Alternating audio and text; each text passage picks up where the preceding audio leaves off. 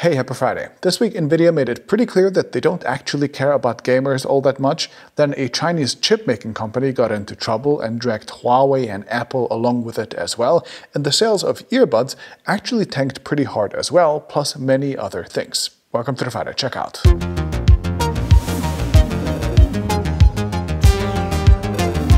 Okay, we have a pretty fun one this week, and we'll start the brief with some brand new products. First, Logitech dropped a bunch of stuff, and of course I'm most interested in their $350 Android-powered Steam Deck clone designed for cloud gaming called the Logitech G Cloud. It runs a mid-range Snapdragon 720G, so it has no real horsepower of its own, but it should be plenty powerful for streaming games over Wi-Fi, and somehow it's already 50 bucks off while on pre-order on Amazon.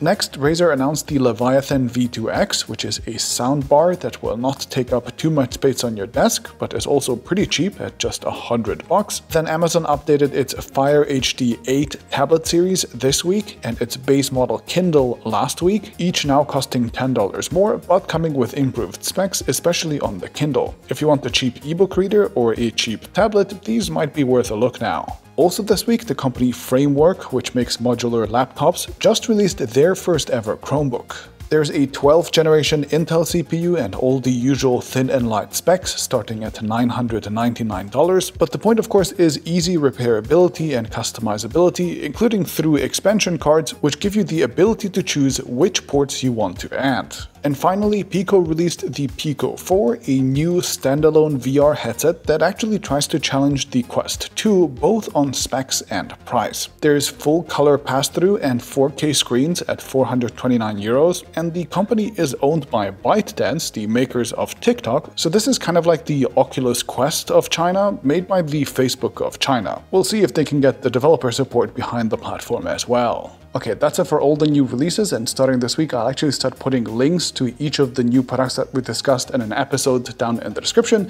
So if you want to check one of those out to buy for yourself, you can do so down in the description, and doing so might also help the channel out financially. Okay, beyond new products, Google this week confirmed that pre-orders for the Pixel 7 will start on October the 7th, and also that India will get the Pixel 7 after being skipped over for a couple of years as well. And Microsoft also confirmed that they will hold an event for their their Surface devices on October 12th as well.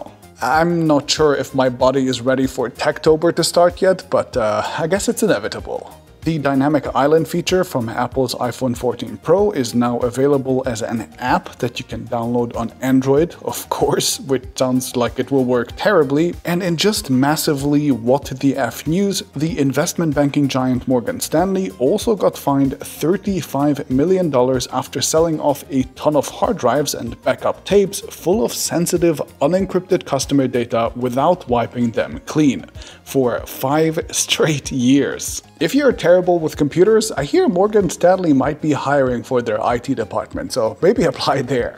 Okay, that's it for my not brief brief. And for my first story of the week, we're actually going to talk about NVIDIA, who showed that they don't particularly care about gamers, but instead they really care about AI and data centers, I guess. So Nvidia had their big conference called GTC 2022 this week, where on the one hand they released the next gen GPUs, the RTX 4090 and 4080. These are absolutely gigantic cards, the top end model consumes an insane 450 watts and they are ridiculously expensive as well, reaching prices up to $1,600 just for the GPU. There are a bunch of hardware upgrades as well as a 4nm fabrication process by TSMC, and perhaps most importantly, there's also DLSS3, NVIDIA's next-gen AI rendering tech that interpolates entire frames in advance now, not just pixels. DLSS3 is limited to the new generation cards, which gamers aren't exactly impressed with, and given the exorbitant prices, the internet is flooded with memes and opinions claiming that NVIDIA has completely lost the plot and will be bulldozed by AI AMD soon. But what gamers might not know is that gamers are no longer the main market for the company at all, as Nvidia makes much more money from data centers and other stuff these days, which are growing fast as well, while gaming GPUs are all in a freefall post-pandemic and post-crypto crash. So unsurprisingly, Nvidia referred to GTC as an AI developer conference rather than a gaming conference, and they actually spent most of their time discussing their products for those markets as well. They revealed more details about the new H100 Tensor Core GPU for data centers, an RTX 6000 flagship GPU, which is aimed at the professional visualization market and content creators. They spilled the beans on their Drive Thor processor for self-driving vehicles coming out in 2024, and most interesting interesting of all, or perhaps most boring of all, depending on who you are, NVIDIA also unveiled two cloud computing services of their own.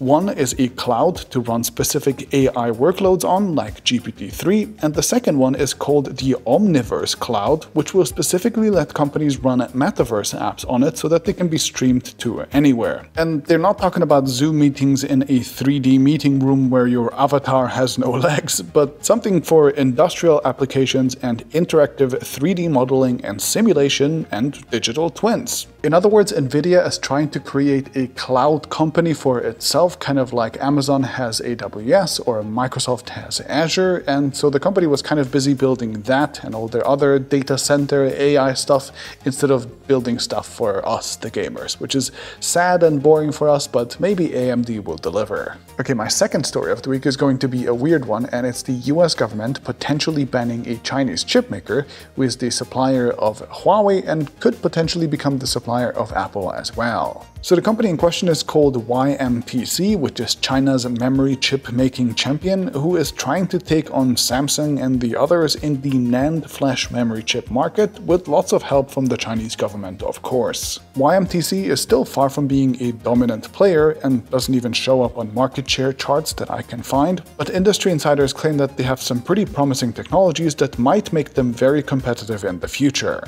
Anyway, they apparently supplied Huawei's Mate XS2 Fold foldable with their NAND memory chip without asking the US government for a license, which some US lawmakers are now claiming was violating US export control rules, and so they're close to put the company on the sanctioned entity list, which is the same naughty list that Huawei is on, for example. Now, how exactly one Chinese company supplying another with a random memory chip would be a breach of US export controls, I'm honestly too lazy to figure out. Like maybe they use some US chip tech in their fabs or whatever, so they would fall under some rules. Again, I'm too lazy to find out, but anyway, there are some international repercussions as well. Apple in particular is getting into hot water as a result of this mess because the same lawmakers are actively threatening Apple now, which was planning to put YMTC memory chips into their iPhones. Apple said that it was only for some of their Chinese models, but they're now being warned off from even that. Anyway, it's a little unclear to me why anyone should be so freaked out about this specific company when neither they nor any other Chinese company have any significant market share in this field at all. But one US lawmaker even went as far as to say, quote, how can the world's data be secure if it is stored on a chip made by a CCP national champion? Which is a pretty dumb statement that shows just how silly this whole thing is. I mean, I'm not the biggest fan of the CCP either, but a memory chip doesn't have a life of its own in your phone. It doesn't just call up the CCP and report you for doing something that it doesn't like.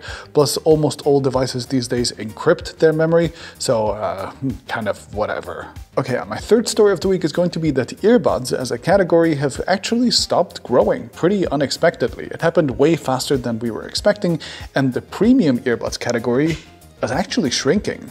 IDC, Counterpoint, and Canalys have all recently put out various reports about the state of wearables, and while they disagree on the fine details, the overall picture is that hearables, like earbuds, are having a pretty rough time. IDC shows basically zero growth for the category as a whole. Canalys says that the category actually declined in all major markets, with the one exception being India, where it grew on the back of cheap units. And Counterpoint kind of agrees, only pointing out the growth in India as well. Either way, in India, it is a budget brands like Boat and Noise, as well as Xiaomi, that are eating up the whole market, and in more affluent markets, sales are actually flat or even declining. This is in complete contrast to the pre-recession predictions that we got in the past, which said that we would reach up to 600 million pairs sold in 2022. In reality, we'll probably hit like half of that, so maybe 300 million units, and you can blame recessions, wars, inflation, or just good old market saturation. Other tech categories like fitness bands, phones, and PCs are also having a pretty rough time, so it's not just earbuds, but it's particularly striking just how abruptly the market went from a white hot crazy to just flat. And it looks like retailers are also starting to freak out just a little, with Amazon, for example, just having bumped up their affiliate rates from 1% to 4 to 9% on selected products like tech.